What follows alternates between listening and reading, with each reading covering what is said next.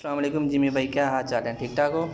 Jimmy भाई, ये मैं न्यूजीलैंड वाइड लेके आया था, उसके पहले ब्रीड दी है माशाल्लाह इसके छः पनीस आज लगभग एक महीने के हो गए हैं। इसकी मदर इसके केज में है।